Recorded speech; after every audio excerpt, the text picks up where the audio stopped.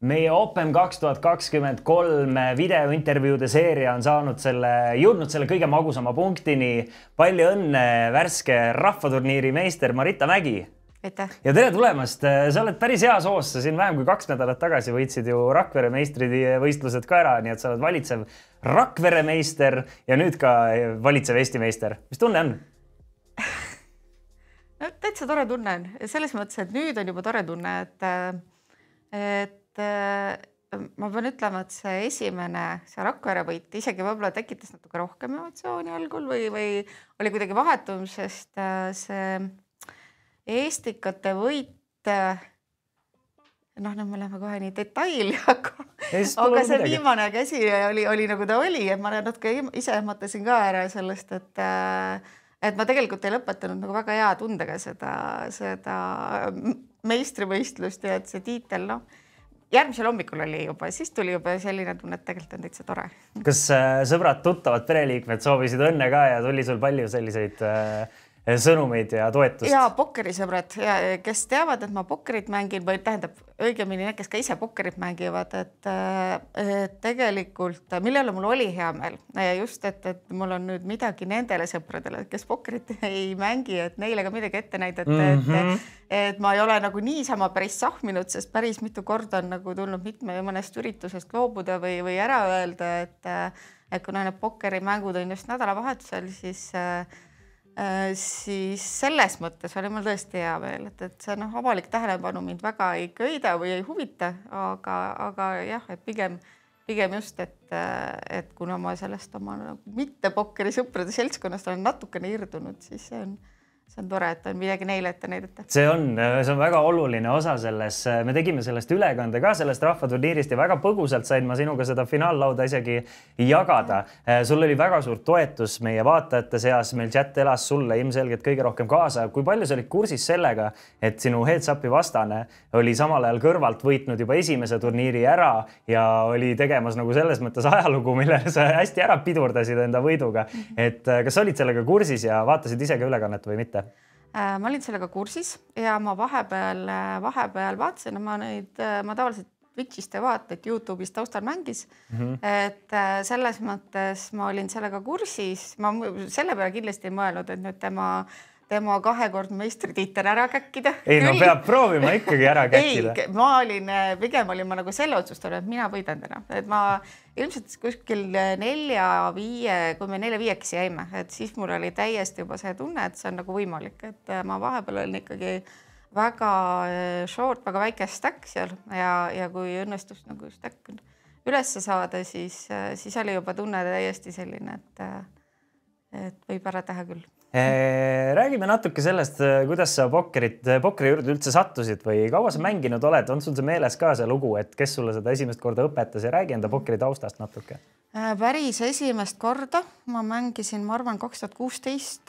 meil oli ettevõtte viievõistluse üks osa oli siis viies finaal, finaalala oli pokker ja oligi Hiltonis selline noh, selline fancy lõpetamisüritus ka Äh, seal ma mängisin täiesti esimest korda.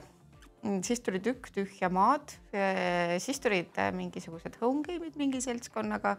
Ja siis tuli naisteliiga, mis oli nagu noh, vast kõige rohkem pokkeri, pokkeri juba sarnane, eks ju, üritus. Ähm, aastal kaks tuhat üheksateist, ma arvan äkki või? Jah, kaks tuhat üheksateist et äh, siis ma hakkasin nagu regulaarsemalt äh, naisteliiga raames algul online'i mängima ja siis ka laivi. see naisteliiga, ma kuulan, äh, teeb ikka täiesti kuldaväärt tööd ja toob. absoluutselt, see on täiesti noh, eriti viimasel ajal on nagu hästi palju uusi inimesi tulnud pokkeri juurde ja ma arvan, et no ma ei tea, üheksakümmend protsenti Eesti naistest, kes täna pokkerit mängivad, on, ma arvan, et pokkeri juurde jõudnud just naisteliiga kaudu, et täiesti fenomenaalne nähtus. väga lahe ja väga kihvt kommuun ja väga tugevad mängijad tulevad ka ja. sealt ilmselgelt. Äh, Marita, kasvõi sinugi näol, kas sa tunned, et see on, et sa oled see aasta midagi muutunud ka, et nüüd järsku siis äh, tuleb igalt poolt vasakult paremalt eest ja tagant tiitleid ka ja, ja kui ma küsin siis äh, seda, jah, ma küsingi niimoodi, kas sa oled enda mängu muutnud ka või oled sa seda Kindlasti. hakanud tõsisemalt ja, sellesse ja, suhtuma? just, et ma tegelikult aastaid ikkagi äh, alguses mängisin noh, täiesti selles mõttes, et oleks fun, et mm -hmm. ma noh, see oligi noh, laisteliiga ütleme, laivüritused on ju ka, et nad on sellised äh, noh, ilmselt see on nagu jagunevadki mängijad, need uued, äh, kes on siis nagu kuidagi sattunud pokkeri juurde, vähe kogenenud ja, ja, ja siis sellised äh, tugevad tegijad, kes tulevadki ikkagi sinna võitma, noh, mina kindlasti alguses ei olnud see mängija, kes, kes võitma läks, puhtalt selle toreda seltskonna pärast ja see, et noh, pokker ikkagi on ju täitsa tore, tore ajaviide. aga ma mängisin ikkagi noh, täiesti mul puudusid ka igasugused noh, alg, algbaasteadmised, teoreetilised teadmised pokkerist, et see oli ikka väga tunnetuslik mäng, kuigi ka see selline täiesti äh, ma ei oskagi öelda, mis selle mängu kohta siis öelda.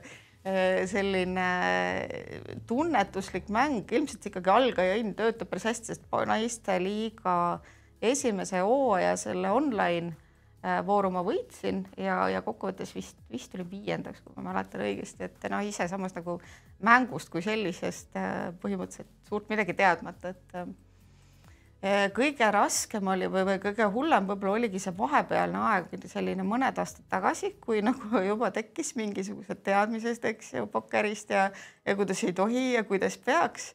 aga samas kogemust ei olnud ja selline mm, -hmm. selline äh, vahepealne äh, olukord, et kui sa enam päris tunnetuse pealt ei mängi, natukene nagu mängust tead, aga kogemust ei ole. Ei oska seda, seda nagu juba mingit, mingisugust teadmist nagu väga hästi rakendada, et äh, siis nagu ei tulnud üldse mitte miski välja, et äh, see on see vahepealne ala ja, on kõige ja, keerulisem ja. osa, kus sa päris täpselt ei, oled seal kusagil õlju tallalas ja tahaks, noh, tead, just sa oskasid seda väga hästi kirjeldada. Eh, rahvaturniir ühest küljest on kõige kergem, aga teisest küljest kõige keerulisem turniir selles mõttes, mis ma nagu mõtlesin, kergem ja siinkohal üldse mitte sellest eh, tiitli väärtust ära võttes, see on minu jaoks üks unistuste turniir, mis ma võita tahaksin sada protsenti. Eh, on selles mõttes kergem, et sinna tuleb võib-olla kõige rohkem uusi mängijaid ja vähem kogenud mängijaid, mis teeb temast raske, on, on nagu ikka see, et, et see field on nõnda palju suurem kui kõikidel teistel meistrivõistlustel. mõnel on viiskümmend ja rahvaturniiril on üle kahesaja, et sellest Äh, rahvamassist ennast läbi purjetada, peab seda strateegiat ikkagi nagu päris oluliselt muutma, võib-olla, võib-olla nagu niisuguse täiesti profi field'i vastu. Äh, kuhu sa ise paigutad selle rahvaturniiri äh, meistritiitli nüüd praegu enda seniste pokkerisaavutuste no niisuguses auhinnariiulil siis? või kindlasti esimene, ega mul sinna midagi suurt ju kõrvale pole panna, et et sa mainisid seda Rakvere meistritiitlit, kuigi seal oli mitmeid väga-väga häid mänge kohal, et et äh, selles mõttes ei saa kindlasti alahinnata, et ja, ja, ja siis on veel sellised mõned äh, mõnelt rahvusvaheliselt turniirilt ka nagu rahalised kohad, mis siin Tallinnaski oli, aga aga mitte midagi noh, sellist nagu märkimisväärset ette ju näidata ei ole, et selles mõttes on see kindlasti oluline. Ja kindlasti ma selles mõttes olen endaga rahul, et enamuse mängust ma suutsin nagu kohanduda olukorraga, et ma ikka vahepeal, kui nagu jooks täitsa ära kadus, et ma siis noh, ma olen hästi kannatamatu inimene mm, -hmm, aga ma mm -hmm. suutsin kuidagi vastu pidada, ikkagi fold ida, et ja, ja siis need sellised semikäed, mis tulid seal kuute pocket, seitse, seitsmete pocket, kus ma olin tegelikult pre-flop ikkagi kõvasti taga siis äh, oli õnne ka, et jooksis kokku, et äh, sain nagu äh, stack'i üles ja uuesti mängida. no seda on vaja. seda on vaja jah, et, et noh, nii suure mängijate hulgaga turniirist muidu läbi tulla, kui õnn ja jooks ei toeta vahepeal, et siis on päris keeruline. Abso-, absoluutselt. kas see võit muutis sinu plaane ka Opemi osas või eh, kui sa Opemi peale mõtlesid, kui palju sa neid turniire otsustasid esialgu plaani järgi mängida ja kas peale võitu otsustasid, et võib-olla prooviks mõnda, mõnda rohkem kui muidu? Eh, ma plaanisin mängida eh, rahvaturniiri ja naiste tänast siis yeah. Äh, naiste meistrivõistlust, et äh, neid kahte kindlasti ja, ja ma olin nagu no jooksvalt siis, et vaatan, et mida veel, et ma mängin tänase naistega ära, et vaatab, kuidas seal läheb, kui tunne on siis võib-olla ka main event. no kui vähegi aega ja võimalus, siis tasub kindlasti proovida. ma palun sinult, ma palusin teistelt intervjueeritavatelt ka väikest ennustustööd teha, et äh, kui ennast välja arvata, mis sa arvad, kellel, äh, too paar nime välja, kellel võiks see aasta põhiturniiril just hästi minna ja kes võiksid finaallauda ennast mängida või isegi võita äh,? ma arvan, et, äh, et pigem on see mitte võib-olla selline väga väga, ütleme, tuntud nimi, et võib-olla pigem võib tulla selliseid üllatajaid. Mm. -hmm aga ma näiteks väga loodan, kelle mäng, noh, kellega mul on mitu korda on koos võimalus mängida ja kes minu arust mängib väga head pokkerit, on näiteks Mart Rinken, temal oleks aeg, ma arvan, meini, meini tiitel võtta väga-väga hea näide. Äh, Marita, ma olen täiesti veendunud, et need nüüd äh, kiirelt saadud kaks tiitlit äh, nüüd jääbki, jääbki tulema, kaasan pealt ära ja et sind ootab väga palju kihvti tulemusi ja järgmine intervjuu siis võib-olla kolme või viiekordse Eesti meistriga Marita Mägiga ja loodan edu sulle tänasel naisteturniiril, et seal ja, see teine aitäh. kohe ära tuleks. aitäh sulle tulemast ja kõike head. ja aitäh, aitäh teile ka vaatamast